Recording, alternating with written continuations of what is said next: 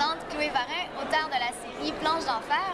Euh, donc, le tome 1, Annabelle 180, a été sélectionné par les Bibliothèques de Montréal pour le concours Élise et moi. Je suis hyper contente d'être parmi les titres coup de cœur de cette année.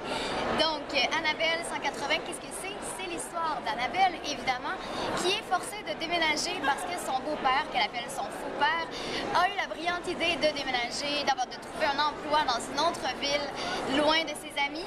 Donc, Annabelle doit s'adapter à cette nouvelle ville, euh, se trouver des nouveaux amis. Elle rencontre une bande de garçons qui font de la planche et Annabelle se débrouille très bien sur une planche. Donc, elle se met en tête de les impressionner et éventuellement aussi de participer à la méga compétition multidisciplinaire Planche d'enfer.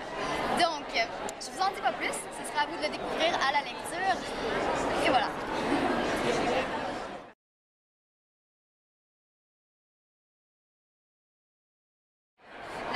De mes rêves serait très colorée. Euh, elle aurait sûrement un dessin drôle qui me ferait rigoler. Puis, euh, idéalement, elle pourrait me faire décoller jusque dans le ciel.